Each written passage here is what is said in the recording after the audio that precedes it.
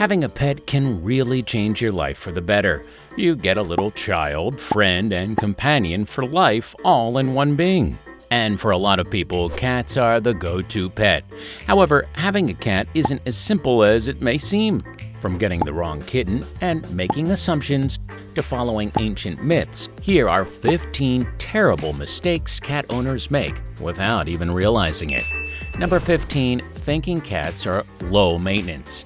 There's a common belief that cats are the low maintenance pet, and while that is true to some extent, they are not as low maintenance as people think. Cats need a lot of attention, love, and taking care of, and since they're silent and fast, they can actually get into a lot of trouble. Fostering a cat or being around people that have pet cats of their own may be a great way to feel things out before you get one of your own. That way, you know if you have enough time and patience to deal with one. Number 14, bringing in super tiny kittens. Let's face it, nothing's cuter than a tiny, wobbly kitten. They want nothing but to play around, have fun, explore, and watching them grow up can be all the entertainment you'd need for months. But if the kittens are super small and wobbly, they aren't at the right age to be adopted. Kittens need their mothers for at least the first five weeks of their lives. A kitten younger than that will be very cute, sure, and it might survive too, but it's going to be quite a challenge. Wait five weeks, let the kittens understand how to eat, walk, develop some feline instincts, and, most important one, go to the bathroom. Otherwise, you're going to have to do all of that for them. Number 13, letting cats introduce themselves. While it's totally fine to let people introduce themselves, and even most dogs, cats pretty much despise other cats. They're simply not pack animals. If you're bringing a new cat in a home that already has one, make sure you introduce them the right way. Keep them in separate rooms and let them sniff each other out from under the door. Move to a mesh door, and once they get used to each other's scent, introduce them in person under supervision. It's the only way to ensure that neither of the cats get hurt. Number 12, thinking all cats are the same. If your friend has a cute cat that always wants to hug and cuddle, and seeing that really makes you want to get one too, remember that there's a chance you'll end up with a jerk cat. That's simply because, just like people, all cats are different too, and most cats are pretty angry beings. However, once you gain their trust, they start seeing you as family. They'll warm up to you in every way. However, some cats still won't like being too touchy feely. Remember that all cats are different, and don't try to force traits of other cats onto yours. Number 11, assuming their furniture won't be destroyed. If you've got a cat, mixing the feline with your nice furniture is a pretty terrible mistake, both for your furniture and your cat. Cats have a natural need to sharpen their nails, and they'll do it with anything they want. Most of the time, what they want is the side of your really nice sofa. So, keep the expensive furniture away from your cat and trim their nails and provide scratching posts to keep their paws healthy. Number 10, not getting the right litter. Since cats have a natural instinct to bury their poop, people think that just getting any litter is totally fine. While most litters do get the job done, that's not going to be the best in the long run. Getting good quality litter like dust free bentonite clay litter will not only keep your house from stinking up, but it'll also be better for your cat too. Nothing will stick to its paws, no dust will harm its lungs, and it'll be easy to scoop too. Number 9. Bathing them. Since most people are familiar with the way dogs function, they think that if you have a cat, you're going to have to groom them the same way dogs need to be groomed. This is often translated into bathing them all the time. In reality, cats don't really need to be bathed that often. They're very good at grooming themselves. That's why they have that rough tongue.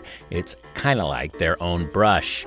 Unless you feel your cat is unreasonably dirty or stinky, you can just let it be. No frequent baths are needed. Number 8. Not being patient with them. Just because cats don't really bark at you like dogs do, it doesn't mean they're not going to be annoying on some days. Since they can't speak in our language, they try to get through to us in different ways, and most of the time, those ways are annoying as hell.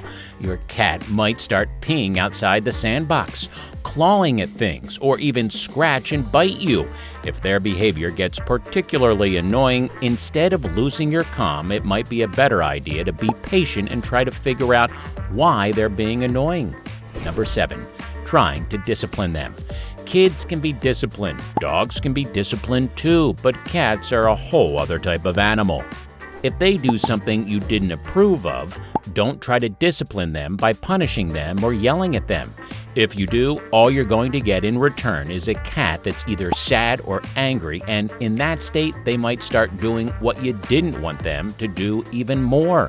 Try to find the root cause of your cat's misbehavior. Fixing what's bothering them will help fix what's bothering you. Number 6. Not taking them to the vet on time.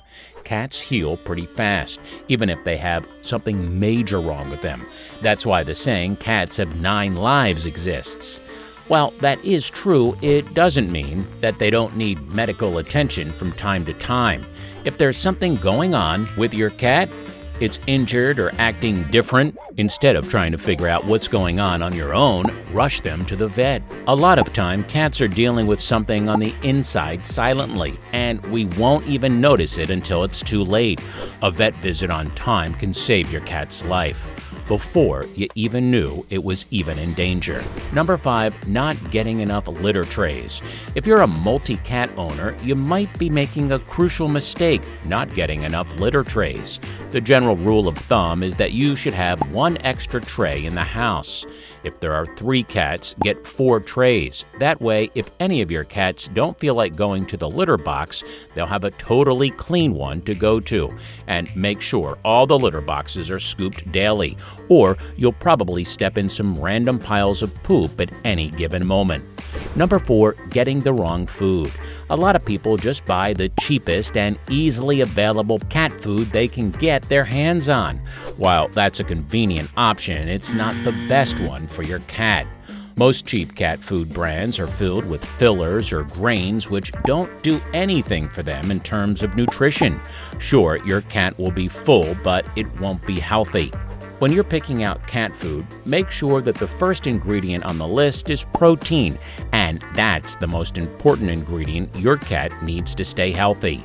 Number 3. Not spaying or neutering them. Many people think that since their cats are staying indoors, spaying or neutering them isn't really necessary.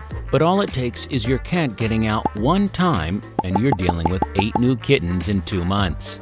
Unspayed female cats are also at high risk for developing pyometra, which is a pretty insane infection in the uterus. While unneutered males are at high risk for developing testicular cancer, which is one of the leading causes for early deaths in cats. Overall, it's a lot better for your cat and the cat population in general for all cats to be spayed and neutered before they go into their first heat cycle. Number 2. Declawing them. Cats scratching you, other cats, or the furniture in your home simply sucks. But if you think the best solution for this problem is to declaw your cat altogether, you're making a terrible mistake. Declawing a cat is like taking away the first little section of your fingers. It's debilitating and unnecessary, and in a lot of states, illegal too now. A better alternative is to trim and file their nails regularly. That way, there are no sharp nails to deal with, and your cat doesn't suffer because of a life altering surgery. Number 1. Giving them milk. Movies and pop culture in general have put forth this idea that the ideal meal for cats is milk, or they need to have milk in their diet, when the reality is the opposite. While cats like having milk, most of the time are severely lactose intolerant. Having milk can make them very sick. What cats really need is water. Just making sure your cat always has access to water and all of its hydration needs will be filled. Alright, comment below, were you making any of these mistakes? Do you have any more to add to our list? Before you leave, don't forget to like the video, subscribe, and we'll see you in the next one.